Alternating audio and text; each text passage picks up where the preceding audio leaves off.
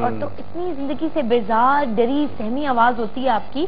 सबसे पहले तुम अपनी इस चीज़ पे काम करना शुरू करो और ज़रूर थेरेपिस्ट से मदद लो लो हम लोगों से लो मगर अपनी मदद आप भी करना चाहिए एक कर सकती चीज़ एक चीज़ ये है जो हम चाहते हैं इस प्रोग्राम से हम कभी है एक तो हम अवेयरनेस स्प्रेड कर रहे हैं। हम्म, हम्म। कई लोगों को ये प्रॉब्लम होता है वो किसी से बात नहीं कर सकते। वो हम्म। कहते हैं क्या बात है? हम कोई अजीब गरीब मखलूक है हमें अजीब गरीब प्रॉब्लम है। इस प्रोग्राम के ज़रिए हम ये बता रहे नहीं ये बड़ा कॉमन है लोगों में लाखों हाँ, लोगों को हाँ।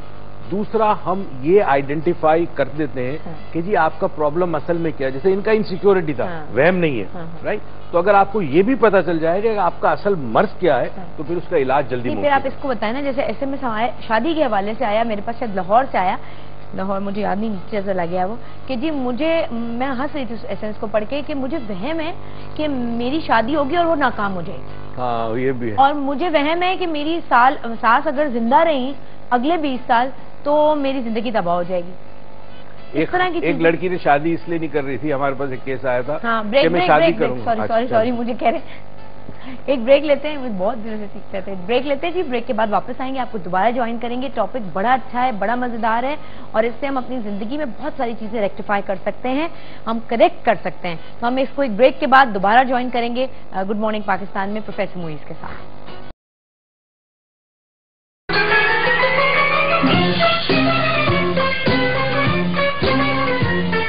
अक्सर लोगों के बेस्ट फ्रेंड उनके पेट्स होते हैं। अगर आप कभी कोई ऐसा यूनिक दोस्त है और वो है आपके लिए बहुत खास तो हमें बताएँ और हम बनाएँगे आपको और आपके दोस्त को। जीएमपी समर कैंप का हिस्सा।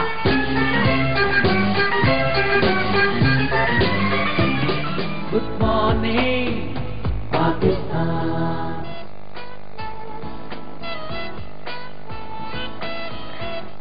तो वो नंबर स्क्रीन पर मैं आपको दिखाती हूँ जो फ्राइडे के रोज आप अपने पेट्स लेकर हमारे स्टूडियो आ, आ सकते हैं। हमसे उनको मिलवा सकते हैं हम देखेंगे कि हम अपने समर कैंप में आप में से किसके पेट को अपने सेट का हिस्सा भी बनाते हैं और अपने प्रोग्राम में लेकर आते हैं। मुलाकात उस पेट के मालिक से भी कराई जाएगी। तो अपने बच्चों को लेकर आए। बच्चों का मतलब यही होता है पेट आप पालते हैं आपको बच्चा ही है ना? तो it's like like raising a baby तो आप हमें बताएँ हमारे मेरे एक डायरेक्टर अदील जो है उसके पास एक टर्टल है। कल मुझे पता चला आठ साल से वो बाप बने हुए हैं मुझे पता ही नहीं था उनके पास टर्टल मगर टर्टल में रखने में प्रॉब्लम ये होता है। देखिए जिस किस्म का पैट रखते हैं ना हम्म। उस किस्म का मिजाज आपका बनता है।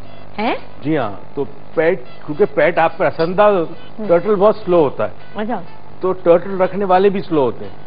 हमारे एक स्टूडेंट है अदील तारिक। हम्म। वो उन्होंने भी टर्टल रखा हुआ है। हैं? तो मैं अदील तारिक को देखकर कहता हूँ मैंने कहा अदील तुम ये टर्टल की तरह स्लो हो।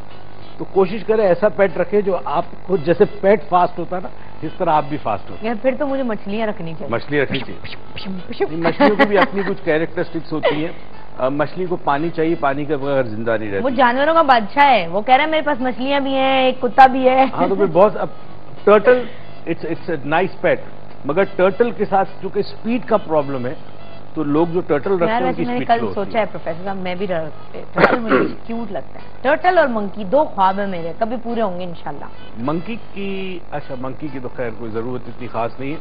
टर्टल रख ले बड़ा। वो आपको? स्लो क्या डाउन मतलब है? मतलब टर्टल स्लो डाउन करेगी आपने मुझे बोला ये ये डायरेक्ट मुझ पे आई है। ये देख लें आप लोग डायरेक्ट मुझ पे आई है। मंकी की क्यों नहीं ज़रूरत है? मेरी ज़िंदगी में मंकी की कमी है अभी। बहुत एक्टिव हैं। जो हम्म। लोग वो टर्टल रखें तो वो थोड़ा स्लो डाउन करते हैं। ठीक है? अच्छा एक मैं इंटरेस्टिंग बात आपको बता दूँ। हाँ। ये जितने लोग हमें कॉल करते हैं हस्बैंड शक कर रहा है नहीं जा रहा डॉक्टर हाँ, के पास हाँ। बीवी प्रॉब्लम है बीवी बात नहीं मान रही बच्चा नहीं मान रहा सास नहीं मान रही बहू। एक बड़ा अमेजिंग इलाज इसका ये एक चीज़ है रेकी कल मेरे पास एक खातून बैठी हुई थी उन्होंने मुझसे कहा कि दो साल से मेरा बेटा स्कूल नहीं जा रहा था। है? क्यों? हाँ।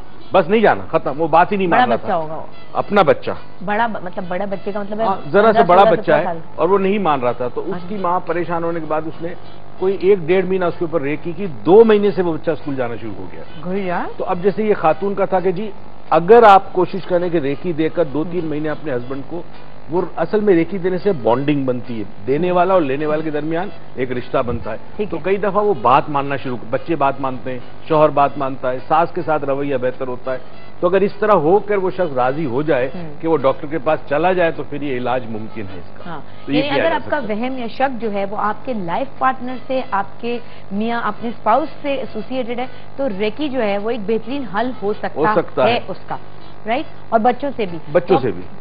आज आप हमें सच सच लिखिए कि आपकी ज़िंदगी का ऐसा कौन सा वहम है जिसने आपकी ज़िंदगी खराब कर दी है यार अजीरन कर दी है। हमने फ्री कंसल्टेंसी अभी भी एक कॉलर ने कहा था तो मैं तो वैसे ही कैश वाउचर की बात कर रही हूँ आज कि जी ten thousand seven thousand five hundred five thousand के सबसे ज़्यादा एसएमएस करने वाले को वाउचर्स मिल रहे हैं जो कि प्रोफेसर मुइज के इंस्टीट्यूट से कुछ भी खरीदारी कर सकेंगे। लेकिन वैसे भी कॉलर्स को भी हम फ्री कंसल्टेंसी ऐसे दे, दे, दे रहे हैं जैसे अभी थोड़ी देर पहले दी है तो हो सकता है आज आपकी कॉल मिल जाए और प्रोफेसर साहब के साथ आपकी हम कोई जगह पे मुलाकात भी करवा दें नॉर्मली मैं मुलाकात करता नहीं हूँ तो इट्स अ ग्रेट चांस हाँ नॉर्मली मैंने बड़ा वो रखा हुआ है कि जी मैं थोड़ा सा अपने काम में मसरूफ होता हूँ मगर हम कॉलर्स को डेफिनेटली ऑनर करेंगे। प्रोग्राम में होता ही है ना कि हमारे जीएमपी के कॉलर्स को ऑनर करेंगे और ज़ाहिर एक एसोसिएशन बनती है ना हमारी और हमारे कॉलर्स की हमारे व्यूअरशिप की एक रिश्ता बनता हाँ। है। तो रिश्तों का मान रखना चाहिए हमेशा बड़ा इंपॉर्टेंट है। चलें जी एक कॉल और लेते हैं कहाँ से? लाहौर से। And good morning Lahore. वालेकुम अस्सलाम। हुसैन बात कर रहा हूँ मैम। जी जैन क्या हाल चाल है तुम्हारे? हुसैन। बिल्कुल ठीक ठाक। अच्छा बताओ। शायद भी मैं बीकॉम का स्टूडेंट हूँ अच्छा। साथ एक मसला है। हम्म। अ, मैं जब भी अपने बेड पे सोता हूँ रात को हम्म। मेरे कमरे में कोई भी नहीं होता लेकिन मुझे एक एक वहम सा या मेरे साथ एक वजूद सा मेरे हम्म। साथ होता है कि जिसको मैं फील करता हूँ। वो मेरी बॉडी में बिल्कुल मेरे साथ होता है मैं उसको उसको फील करता हूँ। मुझे टच करता है मैं उसको फील करता हूँ। है? अच्छा अच्छा। जैन ये बताइए रोज होता है कभी कभी होता है? ये हफ़्ते में दो या तीन बार ऐसा ज़रूर होता है। अच्छा और मेरी लाइफ से बिल्कुल इंस्पायर हो गई है मेरी स्टडीज़ बिल्कुल इफ़ेक्ट करती है यहाँ से। मुझे रात को नींद बिल्कुल नहीं आती है। अच्छा मुझे ये बताओ कि आपकी फैमिली में मदर या फादर साइड पे कोई हिस्ट्री है नफसियाती बीमारी की? हम्म, नहीं सर ऐसी ऐसी कोई नहीं है। और ये कब से शुरू हुआ है आपको? सर ये लास्ट सिक्स मंथ से मुझे हो रहा है। अच्छा छह महीने पहले डिड यू अंडरगो कोई स्ट्रेसफुल पीरियड इम्तिहान का कोई इमोशनल ब्रेकडाउन कोई रिलेशनशिप टूटी हो कोई दोस्ती टूटी हो कोई कोई शौक लगा है आपको कोई अफसोस कोई डिप्रेशन वगैरह? नहीं मुझे ऐसा कुछ भी नहीं हुआ। अच्छा। लेकिन ये पता नहीं मुझे ऐसा लगता है कि मुझे तंग करने के लिए मुझे करता है। अच्छा ठीक या मेरे साथ रहने के लिए करता है ये क्या है मुझे इसके बारे में कुछ पता नहीं चल रहा अच्छा जब ये फीलिंग होती है आपको कि कोई टच कर रहा है बेड पे आपको तो ये फीलिंग आपको मेल की होती है फीमेल की होती है? ये मुझे ऐसा लगता है कोई ये ज़िंदा चीज़ है और ये। मेल है। कोई। मेल है ठीक है। आपने कभी किसी डॉक्टर को दिखाया? नहीं फिर डॉक्टर को आज तक दिखाने की मुझे हिम्मत नहीं हुई अच्छा कभी किसी मौलवी साहब को किसी आलम दीन को दिखाया आपने? नहीं मैंने आज तक किसी का नहीं मैंने फ़र्स्ट टाइम आप ही को बताया है। चले। और इतना बोलने पर के कुछ अच्छा भाई आप अपना नंबर सेंड हुसैन?